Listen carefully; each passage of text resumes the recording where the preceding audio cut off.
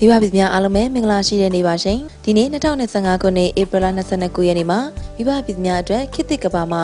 လုံခြုံစွာနဲ့နေထိုင်နိုင်မှုအတွက်လုံခြုံရေးဆိုင်ရာပစ္စည်းမိတ်ဆက်ပြပွဲကြီးနဲ့ရုံးသုံးလုပ်ငန်းသုံး electronic ပစ္စည်းများပြပွဲကြီး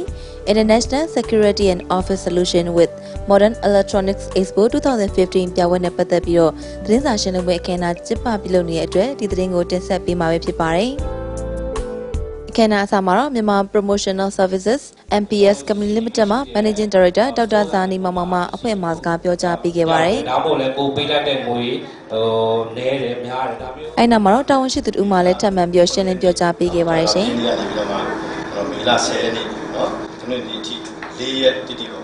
ဆက်လက်ပြီးတော့ကြွရလာကြတဲ့မီဒီယာအသီးသီးမှာပြပွဲနဲ့ပတ်သက်ပြီးတော့သိရှိလိုတဲ့အကြောင်းအရာများကိုမေးမြန်းဆွေးနွေးပေးခဲ့ပါတယ်ရှင်။အများများကတော့အဓိအဓိကကတော့ကျွန်တော်တို့ဒီကာလာအဖြစ်ပြောမယ်ဆိုရင် အဲ့အစောပိုင်းတုန်းကတော့ကျွန်တော်တို့ပြပပြည်များရှင်ဒီပြပွဲကိုကျင်းပပြုလုပ်ရတဲ့ရွေချက်ကတော့နိုင်ငံတော်ကနေပြောတာဝန်ရှိသူများနဲ့အများပြည်သူတရက်လုံးကိုကမ္ဘာနောက်ဆုံးပေါ်လုံခြုံရေးဆိုင်ရာစီမံခန့်ခွဲမှုများဤပညာများစက်ပစ္စည်းများကိုမိတ်ဆက်ပြသသလိုကမ္ဘာလုံခြုံရေးဆိုင်ရာကျွမ်းကျင်ပညာရှင်များမှမိတ်ဆက်ဟောပြောခြင်းတို့နဲ့အမျိုးသားလုံခြုံရေးအစဉ်အတန်းမြင့်တရားမှာအထောက်ပံ့ဖြစ်စေဖို့အတွက်ရည်ရွယ်ပြီးတော့ကျင်းပပြုလုပ်တာဖြစ်ပါတယ်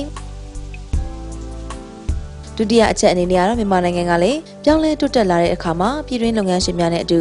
ပြည်ပကယင်းနှိမ့်မြုပ်နှံမှုများလည်းတိုးမြင့်ဝင်ရောက်လျက်ရှိနေပါတယ်။ဒါကြောင့်နိုင်ငံတကာကယင်းနှိမ့်မြုပ်နှံမှုများအဆင်ပြေစေဖို့အတွက်နိုင်ငံတကာမှာကျင့်သုံးနေတဲ့လုံခြုံရေးဆိုင်ရာနည်းပညာများစီမံခန့်ခွဲမှုများကိုလည်းအသင့်ပြင်ဆင်ထားဖို့အတွက်လိုအပ်လာပါတယ်ရှင်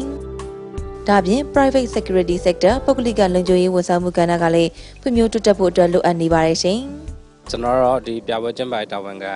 ဒေါက်တာဇာနီမောင်မောင်ဖြစ်ပါတယ်။ဒီပွဲကတော့ international security uh, Office Solution with Modern Electronic Expo ဆိုပြီးတော့တက်မတော်ခမ်းမမှာကျင်းပမဲ့ပွဲလေးဖြစ်ပါတယ်ဒီပြပွဲကမေလ9ရက်နေ့ကနေ10ရက်နေ့မှာ၄ရက်တိတိတက်မတော်ခမ်းမမှာကျင်းပမဲ့ပွဲဖြစ်ပါတယ်ဒီပြပွဲမှာ ဒီ Fisker တို့လို Hitachi တို့လို company တွေနဲ့ Naoyo တို့လို company တွေနဲ့ပူးပေါင်းပြီးတော့ security product တွေရော office solution တွေရောနောက်က electronic ပစ္စည်းတွေရောမိတ်ဆက်ပြသမဲ့ပွဲလေးဖြစ်ပါတယ်ဒီပြပွဲလေးတွေကျင်းပတဲ့ရွေးချက်ကတော့ကျွန်တော်ဒီဟာကတော့တစ်နှစ်တစ်ကြိမ်ကျင်းပတာဒုတိယမြောက်နှစ်အဖြစ်ကျင်းပတဲ့လုံခြုံရေးဆိုင်ရာပစ္စည်းအဓိကပြပွဲလေးဖြစ်ပါတယ် ဒီနိုင်ငံတော်တပြည့်ပြည့်ဖွံ့ဖြိုးတိုးတက်လာတာနဲ့အများပြည်တွင်းကလုပ်ငန်းတွေကလည်းပြည်ပလုပ်ငန်းတွေနဲ့ရင်မောင်တန်းနိုင်မှုပြည်ပကလုပ်ငန်းရှင်တွေကလည်းပြည်တွင်းမှာလာရောက်ရင်းနှီးမြှုပ်နှံဖို့အတွက်လိုအပ်ချက်တစ်ခုတည်းတစ်ခုလိုအပ်ချက်တွေကတစ်ခုဖြစ်တဲ့ဒီ security ပေါ့နော် security မှာဒီ building management system တွေပါတယ် office တွေပါတယ်နောက်ကိုအိမ်တွေကိုမှလည်းပဲလုံခြုံတဲ့စနစ်တွေနောက်တစ်ခုကကျတော့ယင်တွေပေါ့နော်မော်တော်ယင်တို့ယထာတို့ဘာလို့အစားနောက်ကဒီလုံခြုံရေးနဲ့ပတ်သက်တဲ့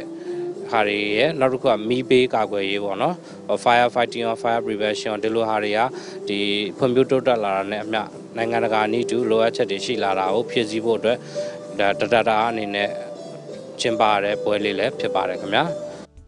ပုဂ္ဂလိကပန်တမိုးကြီးလုပ်ငန်းများကိုကိုင်ရီလုပ်ကိုင်နေရတဲ့ပုဂ္ဂလိကလုပ်ငန်းများတင်ပေါ်ကြကြသူတို့ရဲ့လုံခြုံရေးကိုအခက်ခက်သိမ်းတာဝန်ယူဖို့အတွက်အထောက်ပံ့ဖြစ်စေမှာလည်းဖြစ်ပါတယ်ရှင်။မိဘပြည်များရှင် ခေတ်သစ်ကမ္ဘာမှာလုံခြုံစွာနဲ့နေထိုင်မှုအတွက်လုံခြုံရေးဆိုင်ရာပစ္စည်းမိတ်ဆက်ပြပွဲကြီးနဲ့ရုံးသုံး electronic ပစ္စည်းများပြပွဲကြီးကိုတော့မတ်လ9ရက်နေ့ကနေစတင်ပြီး10ရက်နေ့အထိမနက်9နာရီကနေပြီးညနေ9နာရီအထိရန်ကုန်မြို့ကတက်မတော်ခမ်းမမှာကျင်းပပြုလုပ်မှာဖြစ်တဲ့အကြောင်းကိုသတင်းကောင်းပိုင်းနေပဲကျမတို့ရဲ့ဒီစီစဉ်ကိုတမပဲရနာဝင်ပြပါအောင်ရှင်။ရှုစားကြည့်ရှုနေကြတဲ့ချစ်ခင်လေးသားပါတော်မိဘပြည်များအားလုံးကိုလည်းကျေးဇူးအထူးပဲတင်ပါတယ်ရှင်။